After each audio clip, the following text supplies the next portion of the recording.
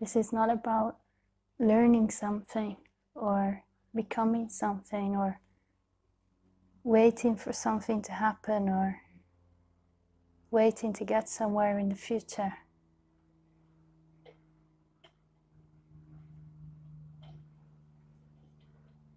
This is about letting go of everything and just being here and enjoying the simplicity of this moment.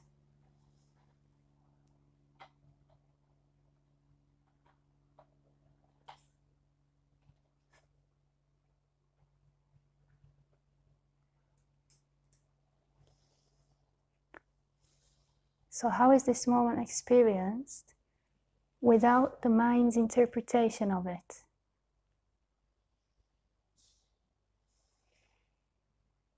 If you didn't know any language, if you didn't know any words,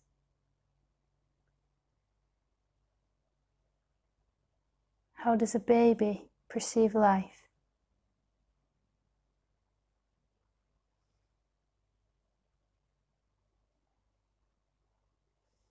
They don't know the name of anything.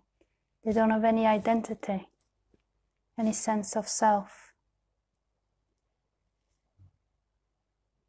There's only pure awareness, perceiving through this physical form.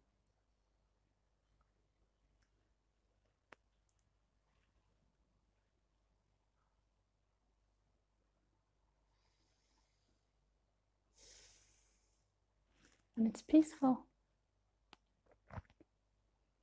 For the mind, it's not peaceful. For the mind, it's torture. It's very unpleasant for the mind. And that's what we experience as resistance. When we start to let go and let go and just be here. The mind experiences discomfort in the form of thoughts and sensations in the body like agitation, boredom, a sense of incompleteness. And what's required is to have the willingness to stay here, simply perceiving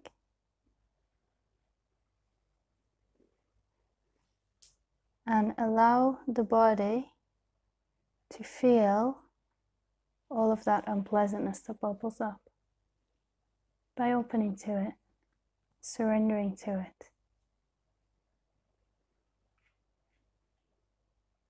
And letting it burn up in this fire of truth.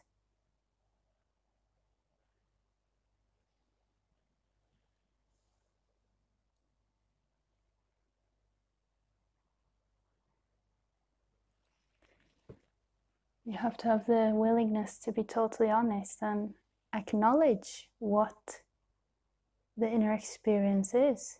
If the mind has an idea that I'm spiritual or I'm on a spiritual path,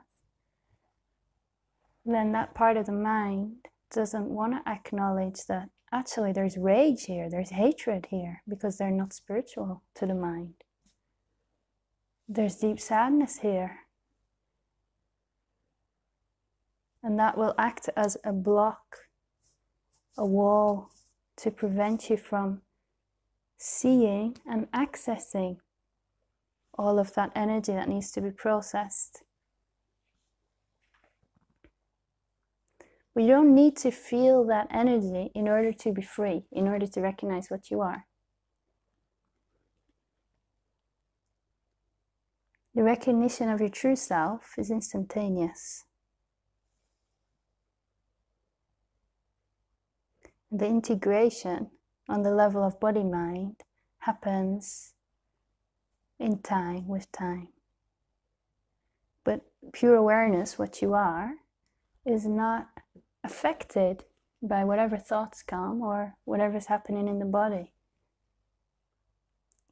Because there's a knowing that that's not you, it's just the body experiencing sensations. But if you believe that those sensations mean something about you, then that's part of the story that the mind creates of who I am. And then you're stuck as the sense of the separate self.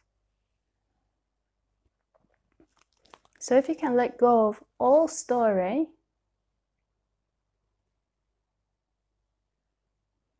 be fully present with whatever is happening in the body have the willingness to feel it, and ask yourself what is perceiving? What is it? And really look. Not try to understand mentally. You can't understand it mentally. If you try to understand it mentally, you're only stuck in the mind. The mind is thoughts. So, what is perceiving? The thoughts. What is here when there is no thoughts?